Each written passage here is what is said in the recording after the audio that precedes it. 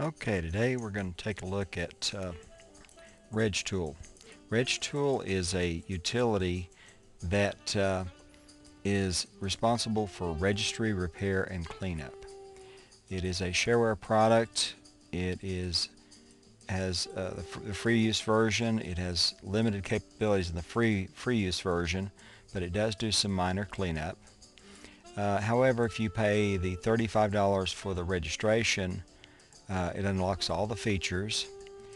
Uh, it will go through, we can now go through a, a quick cleanup with it.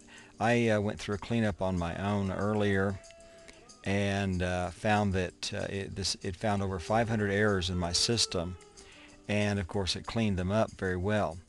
I've done a few installs and a few other things since then uh, so I kind of wonder, you know, after a couple of installs if it's going to find any other problems. We'll see what happens.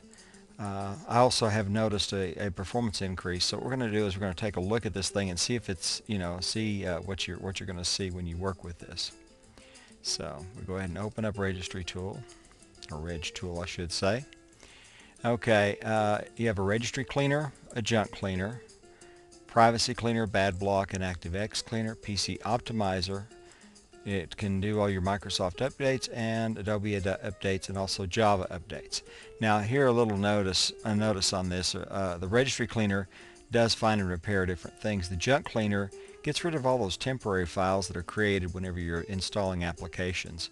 Uh, those things never seem to get deleted and your hard drive eventually fills up with them and it's just more stuff to track on your hard drive so it, it slows down your system eventually. Privacy Cleaner gets rid of the potential uh, for uh, somebody to do identity theft. The Block ba uh, Bad ActiveX is another uh, great feature. It uh, takes care of any harmful ActiveX ob objects. PC Optimizer does one-click optimization. Microsoft Updates, if you turn that on, then it'll find it, uh, all the updates for your system. recently I did some major updates on my system, so uh, I really don't need that. It'll speed up the, uh, the scan a little bit. I'm going to turn that off for now. Adobe updates and Java updates, uh, those are never a bad thing to check for. Uh, so, you know, we'll go ahead and we'll do a quick scan here and see what we've got. So we'll go ahead and start the scan. And it's scanning through the registry now. And uh, let's see what it found. I mean, I haven't done, I, I've done a little bit of stuff to this computer since the uh, major cleanup that I did with this. Uh, like I say, it found it found 500 things wrong the first go round. Uh, it looks like it's still finding some things that are that are definitely wrong, some things that I definitely want fixed. Um, you you always want to make sure your computer runs smoothly and runs well. And looks like we found some more junk files. Uh, the first go round, it found over 300 of them. So uh, it looks like I have piled a few more things on my computer. So uh, I'm, I'm, keeping my computer cleaned up and everything. And uh, this is an additional tool to use on top of using your regular uh, system utilities uh, to do regular maintenance. Don't ever uh, mess around and not do maintenance on your computer.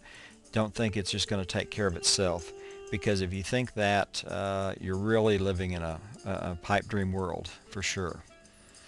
Um, oh, looks like it found uh, some different things that were wrong with it. Okay, uh, there's some ActiveX pro potential problems here. Uh, some privacy items. I didn't, last time I uh, scanned it, I didn't check for the ActiveX stuff. So it looks like there's some problems. I'm going to tell it repair all. Now it tells me uh, that if that it'll delete my history files. So I, I, really don't want to do that off my web browser because I do use my history files quite a bit. So in this case it says if I use ignore and they will not be deleted. So I'm going to tell it ignore and let it do the cleanup of everything else. So it goes through, it's doing its cleanup of the junk files. And like I say, I'm kind of surprised it found this much stuff within just a, a very short time. But uh, 845 problems were fixed. So we'll go ahead and tell it OK. Looks like we're in pretty good in good shape there.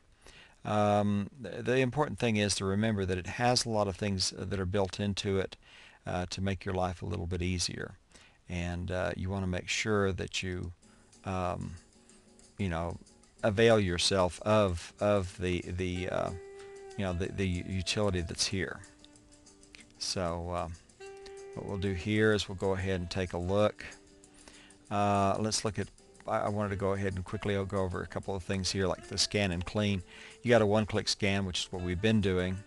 Registry cleaner, evidence cleaner, and junk cleaner to clean up your system. Backups, you can do a registry backup, or you can set a restore point. Uh, now, uh, most people end up having to go through system system uh, uh, restore and, and doing this, but this way you just do it in one place. You can optimize your PC, uh, you know, get a little better performance out of it, fix errors, um, fix the ActiveX uh, things, tw even tweak memory, optimize your internet, and a smart di disk defrag. So basically, uh, getting the most out of it. Program Manager, basically fixing your startup tools. Uninstall Manager, getting rid of some programs and get rid of some, some items that are not uh, doing you any good. It, it's really great how a lot of these computers, when you buy them, have a lot of bloatware. Okay, then we've got IE Tools, uh, the BHO manage Manager, uh, basically fixing your browser helper objects and your plugins. Uh, then of course your Microsoft updates, that's a different deal entirely uh, and it'll go through here and check check to see what updates I need. Uh, in this case, I'm not really going to worry about it. I'm going to go ahead and shut it down because I've got, like I say, I've updated recently. It's going to scan through there. It'll probably find two or three minor updates. I prefer personally to have a little tighter control on it, although it does let you select and deselect after it scans. So I want to thank you for uh, joining me on this brief look at uh, at uh, RegTool.